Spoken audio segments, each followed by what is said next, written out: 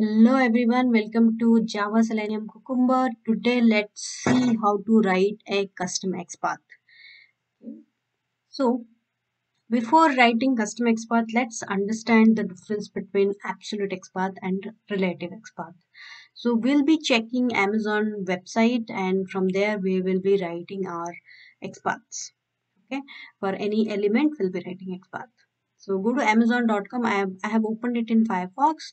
So we'll be checking it in Firefox because Firefox uh, is something where we can see whether the XPath is correct or not after inspecting.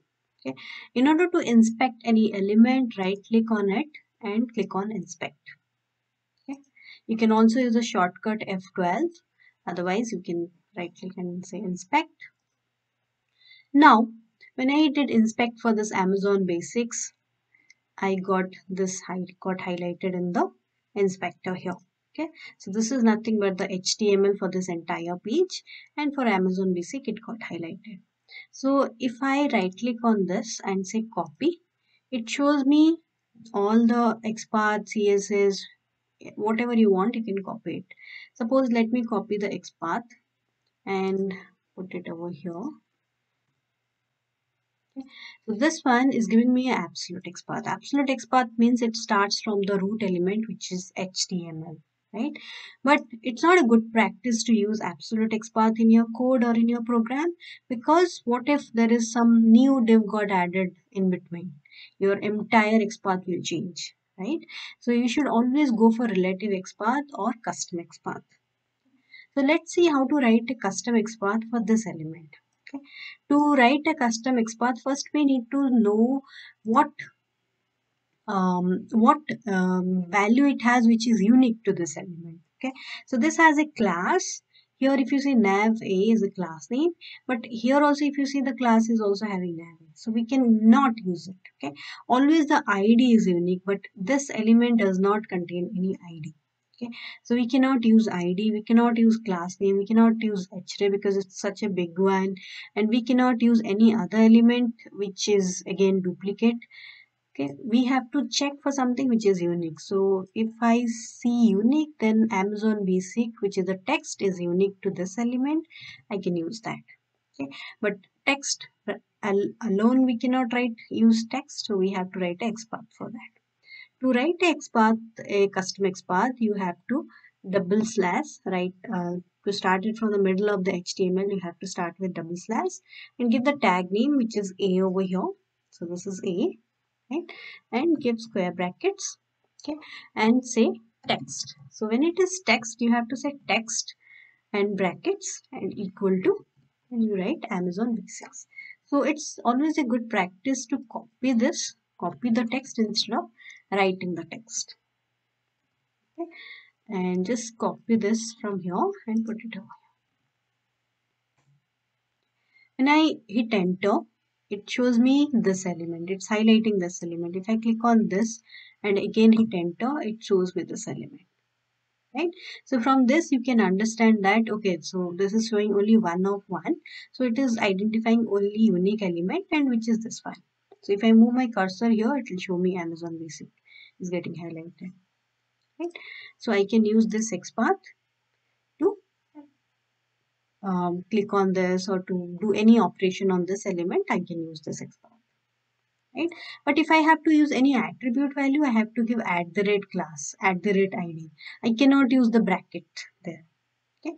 Only if it is a text you have to use text brackets and then give the complete text there is something called contains. We can also use that. So if you want if you have any part of the text suppose there are some numbers here which is getting which is changing in every refresh. So you cannot use uh, the complete text here right? So you have to use something called contains which will be using the part of the text. So when you are using contains you have to give a bracket and you cannot use equal to anymore here. You have to give a comma and then you can just give a part of the text. You can give any part of the text whether it's start or middle anything. Okay so this is enough. And I can end the bracket here and let's copy this and put it here. Okay so it shows me two elements here one of two. So there is one more element which is also having some similar name Seymour Amazon Basics right? But as this one is the first element which is showing. We can use this as well. But always try to use something which is unique to this one. Okay? So let's not use contains here. Let's go for equal to symbol okay? But if you suppose you have some element where you have to use contains then you can add one more attribute to this. You can use and and or and use another attribute which will again give you a unique element. To use and or or you can simply say and. I can use any of the element from here like suppose I have an attribute called class so I can use this nav a but nav a if you see there are some spaces so I cannot use equal to directly I have to use contains here okay? But I can use this. So I'll say I'll just simply copy it and here I'll say the class okay so we have to use contains again and you say add the rate class comma so contains whenever you use, you have to use comma and whatever is the value, you have to put it in single quote. Okay. And in the bracket here. And you can simply, let's just maximize this.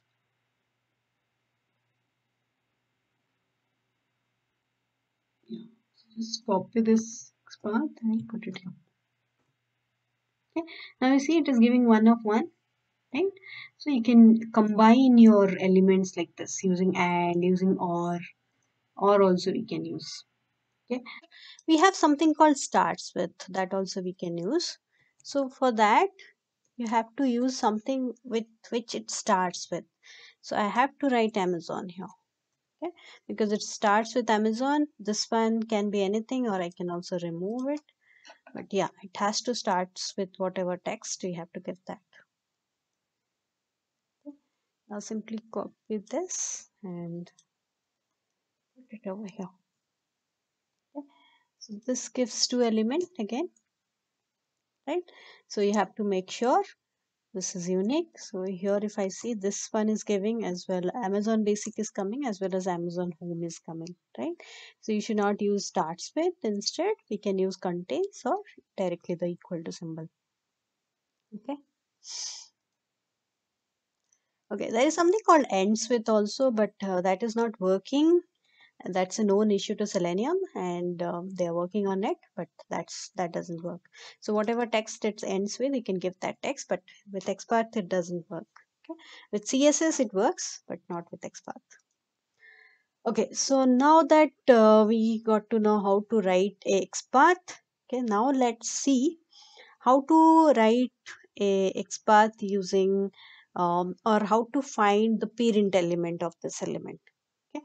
So to find out the parent element what i can do is uh, first let me just go back to the normal one. Okay. amazon basics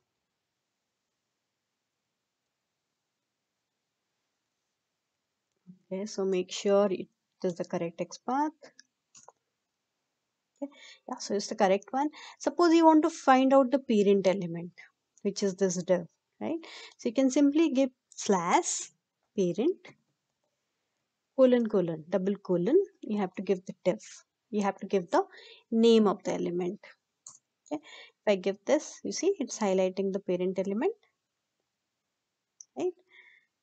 Now you have something called ancestor.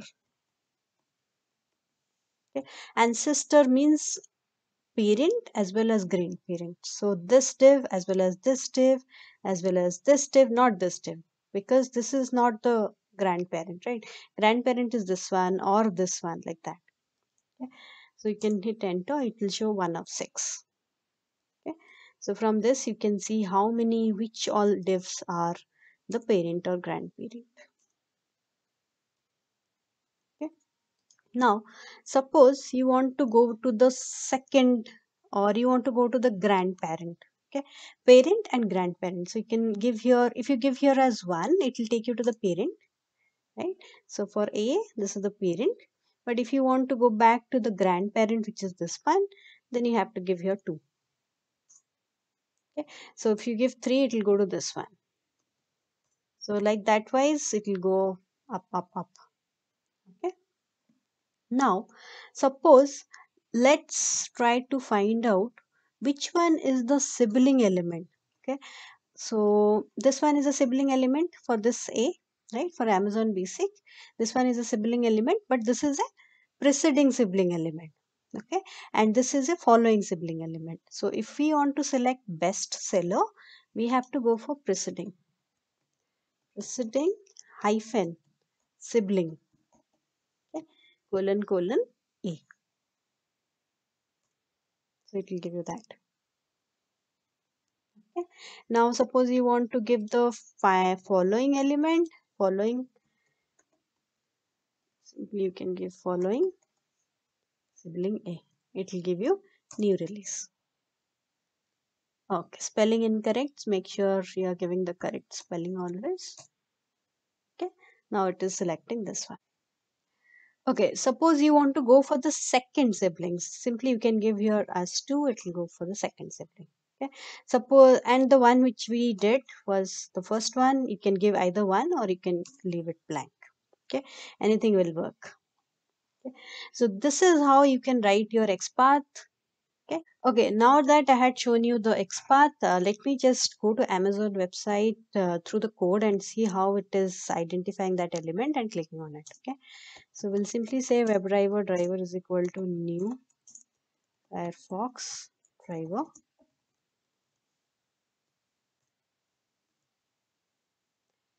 Uh, driver dot get http which is mandatory amazon.com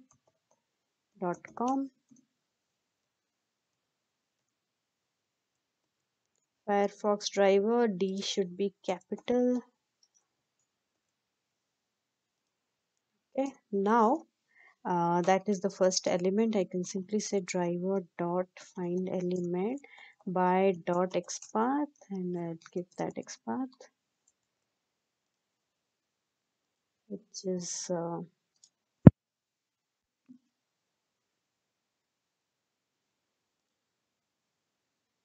so where is our xpath so this is the xpath let's see if we can click on this. Yes we can. So I'll simply put the xpath here. Enter. Okay.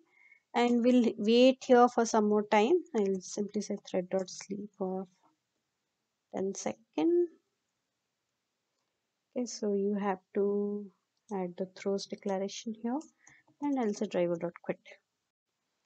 Okay looks like my um, recording got paused so I'm just recording it again and I wrote driver dot quit okay? Now let me run this program